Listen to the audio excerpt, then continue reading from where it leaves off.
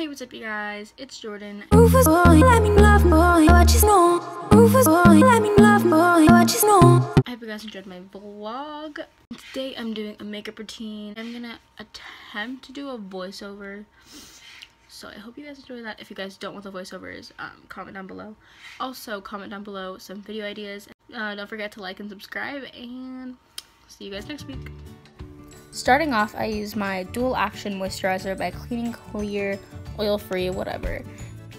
Next, I take my Mario Badescu Rose Water Spray and I get a spritz so after spraying that, I let it sink in for a second or fan myself off, as you can see. Now I'm taking my Skin Transformer Face Spotlight um, illuminator thing, and I rub that in, and it literally makes you look like a disco ball. This summer I've been really into like the glowy look and the bronzy look. Next up is foundation or BB cream, and I like to use the Skin Transformer Face Tinted Skin Enhancer, or I like to go with the Dream Liquid Bouncy Mousse. now I'm going in with a flat kabuki brush and just blending everything into my face and neck.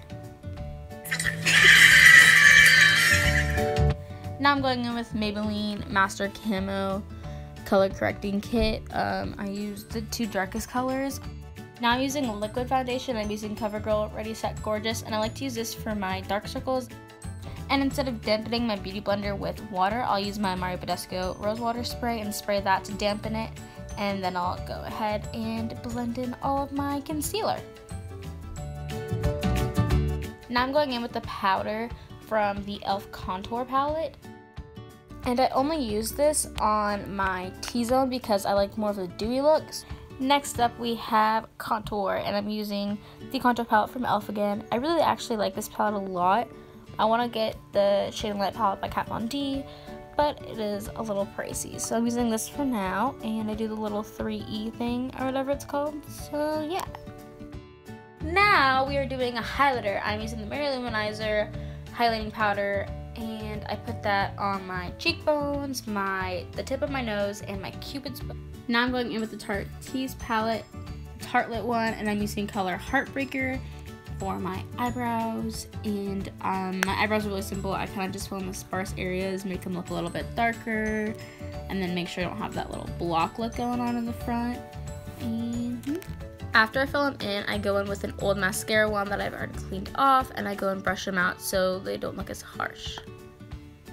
Going back in with Heartbreaker, I use that to define my crease and I use a fluffy blending brush and do windshield wiper motion in the crease. Next I'm going in with the Makeover Essentials palette and I'm using the white color in the middle and I'm putting that in my inner corners just to brighten things up. And a final step is using Maybelline's Lash Sensational and I do a couple hundred coats of this on my eyelashes just to make sure that they are really up there. I put the mascara on my bottom and top lashes. Top definitely gets more coats than the bottom does. Here I'm going in with an e.l.f. tinted chapstick. Okay, so that was this week's video. I hope you guys enjoyed. I know it was was not my best. Um, but yeah, this is the final look. Um, so yeah. I hope you guys enjoy this video. Again, comment down below, give me video ideas because I need some. I'll see you guys next week. Bye.